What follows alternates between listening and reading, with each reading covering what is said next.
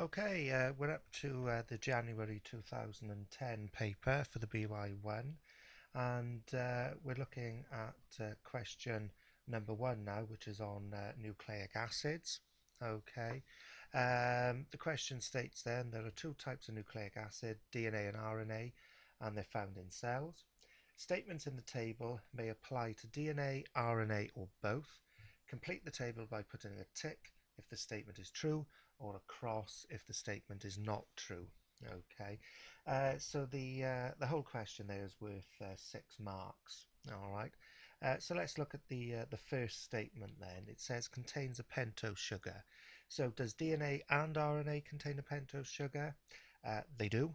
All right, the sugars happen to be different. in DNA, it's deoxyribose sugar, and in RNA, it's ribose sugar. But both of those sugars are actually uh, pentose sugars, which means they uh, contain five uh, carbons. Okay, so I should put uh, two ticks uh, in those boxes. Right, found in the nucleus. DNA is definitely found in the nucleus. Okay, so that can have a tick. That is a true statement.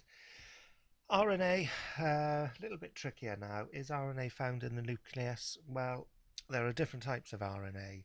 And yes, some types of RNA can be found in the nucleus, so that would be a tick uh, for that as well.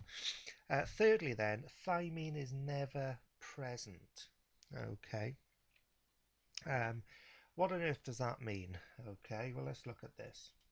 Okay, I think uh, I think it takes takes a little bit uh, of time to get uh, a handle on what the examiner wants here. Maybe if I said this, thymine is not present that may help you a little bit more.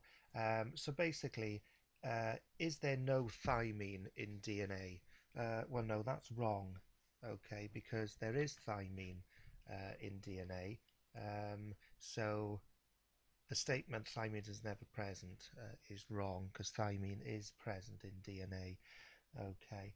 Um, is thymine present in RNA? Um, no, it's not. So the actual statement is true there is no thymine in RNA. Um, of course, the base is uracil uh, in RNA. Okay, consists of a double uh, helix. Uh, yes, DNA has got a double helix, but the um, RNA uh, doesn't. Okay.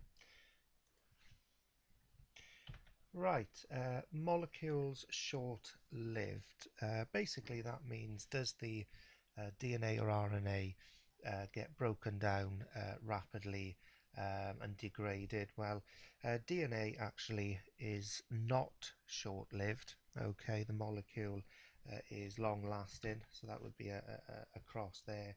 And RNA is actually short-lived because it can get broken down.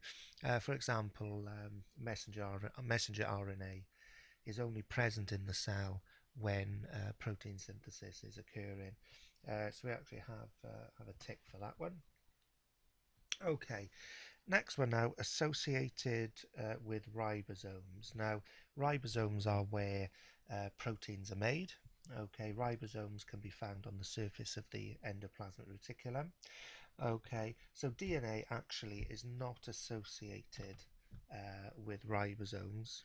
Okay, uh, but RNA is because messenger RNA will attach or associate with uh, the ribosomes uh, to allow protein synthesis uh, to occur.